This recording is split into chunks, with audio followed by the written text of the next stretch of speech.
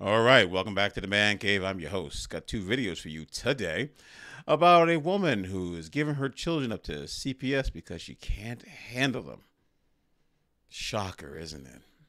And then you go online and talk about it. So it must be very important what she's going to tell these young ladies about childbearing and waiting till you carry. I'm sure she's going to give us some great information. So without further ado, let's uh, roll the video of the Mother of the Year.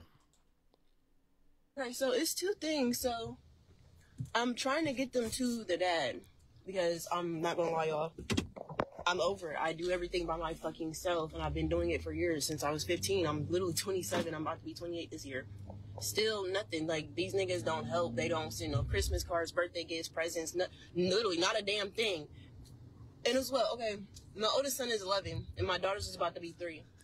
So you mean to tell me out of three years and out of 11 years, y'all lazy ass niggas still ain't come up yet? Okay, well, y'all take the kids, and I'm going to worry about me, focus on school, and get my motherfucking shit together because why the fuck not? It's time for somebody else to fucking, you know, step the fuck up and do something. I'm tired. Like every fucking time. Like I said every fucking time. I'm I've been doing it by myself since I was 15. I'm done. I'm over it. I'm in two different colleges. I'm working. Um, I'm over. I'm overwhelmed. I was just. It's. I'm done. I really am. I'm just done. I just want to learn. I just want to be able to focus on me, my school, my careers, my jobs. I, I just want to focus on me.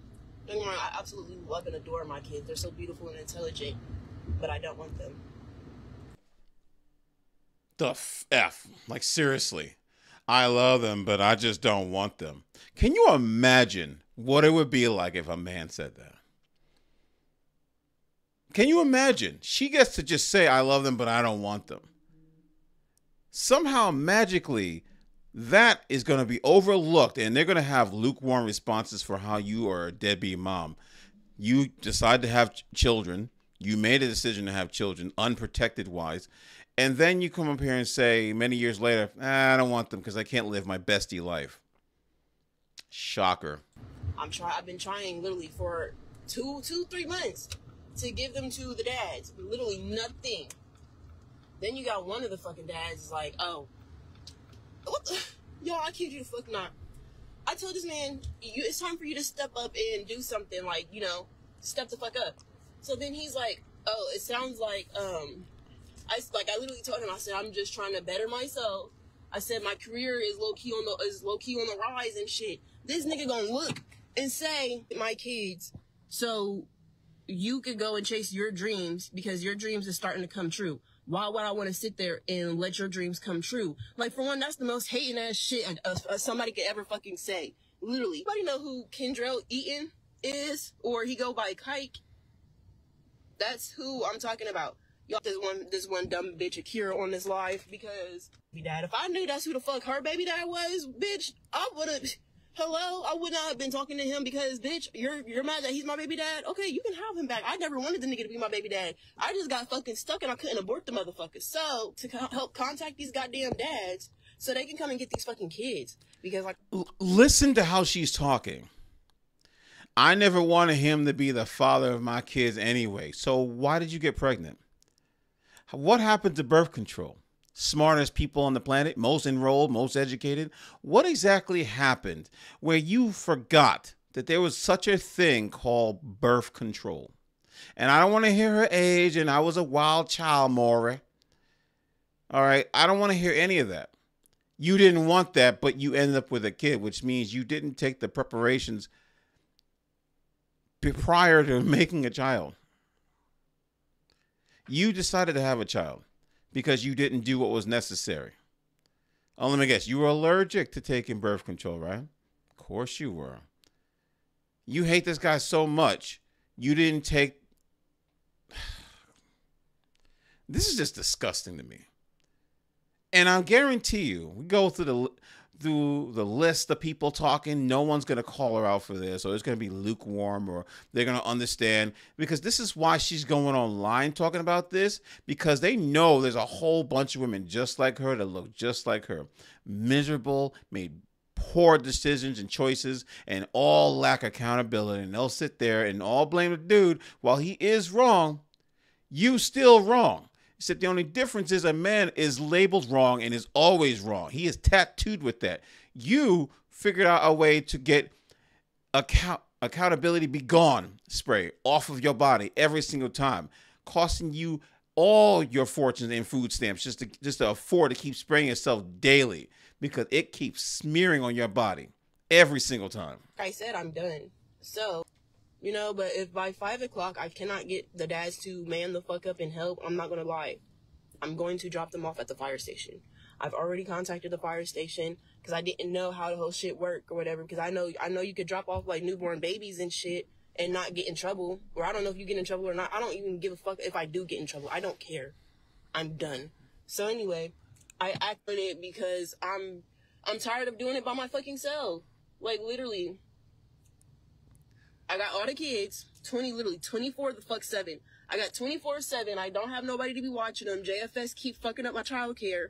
The dads don't fucking help. The, the, the grandmas is deadbeats as fuck. And I can't wait to see this one bitch. Can hit these motherfuckers up and tell them to fucking be a dad or, or I don't know. If y'all want to take them, because look, y'all can get benefits and everything. Um, honestly, actually, better yet, shit, my daughters might qualify for SSI. But I'm not playing. I'm just like I have to know you. I'm saying, if Mind you, you, she's like driving you and doing foster this. my kids or some shit like that. I don't give a fuck. This is me openly asking for help. Are the kids in the I car? need help. I got a lot of shit going on right now. So, with that being said, uh, if you want to openly foster my child, my children or whatever the fuck, I have to know you. you. Yes, we have to go through the whole little process or whatever. But I still want to see my kids. I still want to provide for my kids and everything. But yeah, no. If you want, like I said, if you want to foster them, you're more than welcome. Y'all will get benefits if you if you can file for food stamps. My daughter's qualified for SSI. Um, it's a couple different things. My son's dad is dead as fuck, and he ain't coming back. In fact, I, st- I still gotta go today and spit on that nigga's grave and send the video to his mama. Anyway, but anyway, yeah, I gotta um after I do that shit. But my son's dad is dead. He's not coming back. So my son's dad. All right. So I'm going to assume, I'm just going to throw it out there. You were going out with Pookie's. He's dead. What was he? One a statistic where he got shot and it was a it was, you know, justifiable. It was unjustifiable death. Come on. You were dating a Pookie. Y'all all fall for the same type of dude and then you come online crying about it. Miss me with that noise. I mean, my son survive. Uh, he he you know he qualifies for uh survivors benefits or whatever the fuck. What the fuck is he what, for, for what? child. Anything that I do with my life, my career, my business, whatever fucking rapper that you see me with, whatever rapper flies me the fuck out, that has nothing to do with you. The fuck? My boyfriend has nothing to do with you. It don't matter. None of that shit matters. You should worry about you and the fuck what you what you have to do for your kids. And actually, to be honest, What? you're literally you're literally that fucking stuck on a fucking rapper. We're just fucking. He's not even my boyfriend. so oh, imagine when he when he do become my boyfriend, you're gonna be fucking sick. He's not my boyfriend. So now you just look dumb as fucking bitter as fuck, worried about the wrong ass shit. I'm not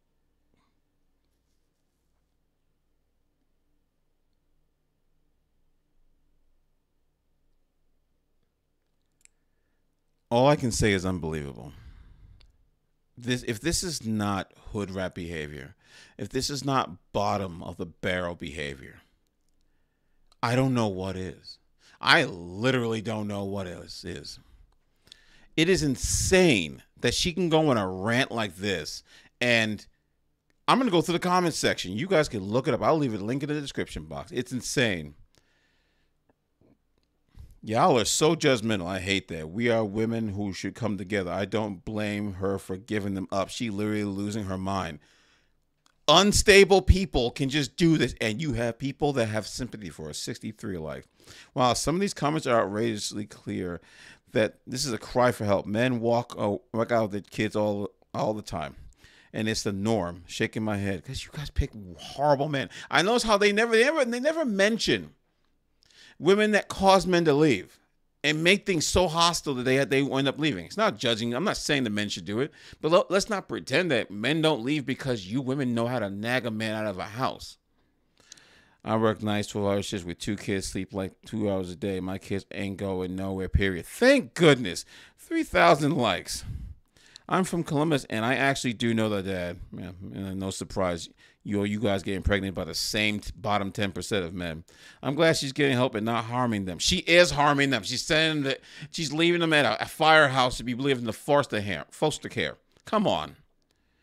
The trauma these kids are facing is sad. Yes, because his mom is triggered and completely unstable. Once you have kids, there's not any more focus on you. That goes out the door. Those babies come first always. Boom. Thank you. Praise be. She the, this lady said it. We are two totally different moms because I would never. Exactly. I got four kids, and this has never crossed my mind. When you have kids, it's no longer about you, it's about them. Why is it so difficult? Because we've made it and normalized it. We give women avenues to abort their children. We give women avenues, choices to abandon them, and they're never considered bad deadbeat moms. It is insane that there are women out here, and I guarantee if I were to go inside, if I had the time to go into every one of those comments, there's going to be women who will find a way to turn against those women because they just don't agree with the narrative of women should be able to abort and get rid of their children whenever the heck they want, no matter what, without scrutiny or repercussions. It's a load of crap. All right, let's get to the next video. It really don't matter, but um, because this is how you're overwhelmed. Because I love them, and, th- and this is hard. Like, you don't love them. This is this is killing me. It's not killing you. But it's for the better. Like it's because you're it's reckless. my life better and focus on my schooling, my career, my health. Number one, my health, so I don't fucking die because I can't do shit for them if, I, if I'm dead. You see what I'm talking about? Listen how she's talking about like this is her. It's about me. It's about my health. It's about everything that I need. I love them, but let me list all the things that are clearly about myself. My selfish needs. Not selfless, selfish. My career. Your career should have came before the kids, idiot. If I don't have help, you know? And I don't like these places because they make the women feel so comfortable. I can tell you a story about a woman who got upset. She was pregnant, nagged the boy for the the baby dad. I hate to know use the word. Nagged the boyfriend, the father of her child, was continuously nagging him all the time. He left. It's wrong for doing that, but he left. She decides to take NyQuil and try to commit suicide and then regret doing it. Oh, why did I do this? Getting taken to the hospital.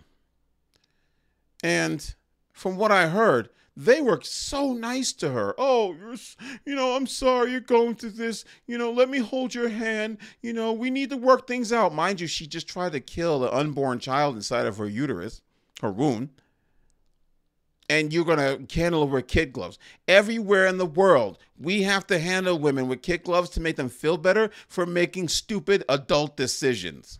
It's like and it's like the dads didn't want to help me. They wanted to see me beat. I done lost everything so many fucking times. But you know what? Like I said, I'm gonna come back for them. And as far as the whole, as far as, no. as far as the whole um foster whole thing, like, will it be open? Will I still be able to like see them, bring them gifts and stuff? Like, what they'll do is they'll set up visitation for you. That's that's if the good parents don't let you see them because you don't deserve it. Okay, that's even better. I'm sorry, I, I spoke. What they'll do is they'll set up visitation for you, usually here at the agency or a designation place, whatever the court orders, and you'll be able to see them weekly. Okay, that's even better uh, that I can still see them. Oh yeah, um, you'll get to see them, and, and I can still provide for them, right? Correct. You Birthdays, gifts, and have all that. Give them money, not gifts. Give them money, ho. Our goal is reunification to get you the help that you need, so you're not overwhelmed, and that you can Kid gloves. You know, provide for your kids. I can tell that you care for them. You're just completely overwhelmed. I get that. Yeah, because like, it's only so much I can do. I mean, I just. You're worthless. You're not. There's only so much you can do, but you're doing the bare minimum. You're worthless. You're pathetic. I don't care about you. Oh, I, I still can give them birthday gifts. How about you know a life? If they get to a family that is going to take care of them no matter what the race is, here's what I'm going to say Be gone, thought.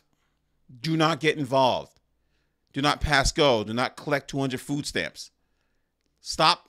Leave this child alone. If you can't be with that child now, don't be with that child ever. leave him alone. This is ridiculous. And mind you, this is all for DNA, Deke and attention.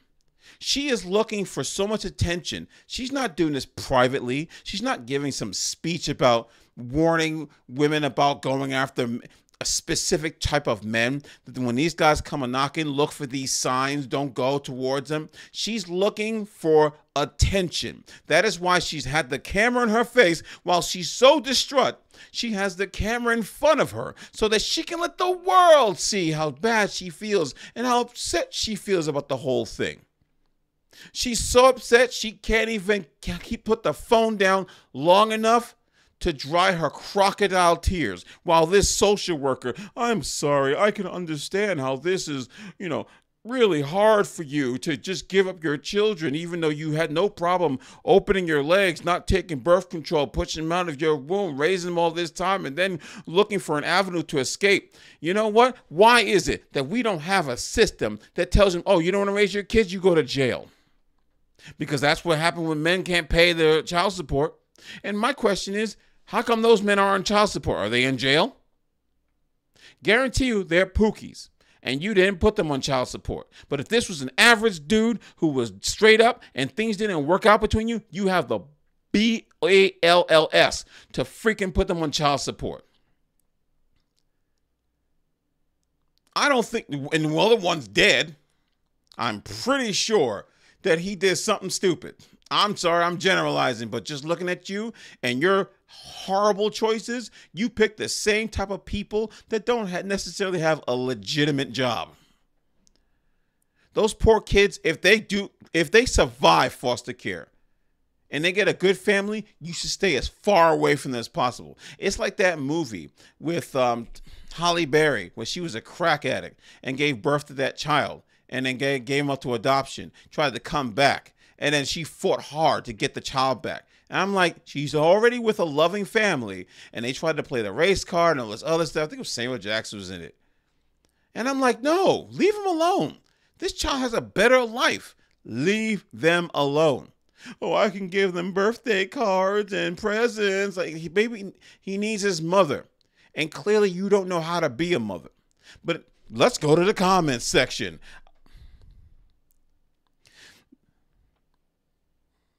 She doesn't have a village. She needs a village. No, she needs some common sense. Is she serious?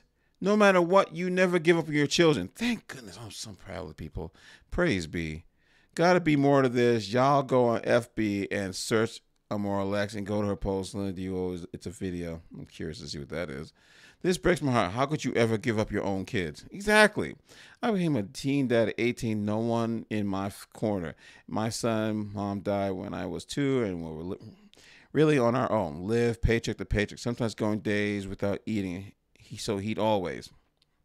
That's what you're supposed to do. This is what I call mother. See what I'm talking? See, and it's the same usual suspects. This is what I call a mother's love for real. It's so sad that the government would rather pay strangers to take care of other people's kids than give parents a tool to take care of themselves. It's called being an adult. You see what I'm talking about? It's called being an adult. You're an adult. You should already know how to do these things. Why does the state have to hold an adult's hand? So the state will pay for foster family to take care of them, but they can't help keep her kids at home. Again, she's an adult. You made an adult decision, you're an adult. They are not the people you want to go to. I didn't have a village, but I never give up on my love. My uh, never give up on me. Love my kids. 100%. I will never do this. Yes, exactly. A lot of children are abused in foster care. This is sad. She had no other options. Hopefully, these kids are okay. It's called birth control. You should have thought about that before you open up your legs. She is so broken. Yes, call her out for this. Shame her. She needs to. This needs to go viral. Letting everyone who acts like this no, you don't do this. And if you do, you get shamed for it. So it scares everyone else from being an idiot. We need to bring back shame. That's what we need to do. But what we do is we want to hold their, their hands and, and, pamper them and give them a, the option of an out. No, you need to be held accountable. That is what you need to do. As a woman, be held accountable, own up to your job, own up to what you did, and go truck on. It's not about you anymore. It's about the children.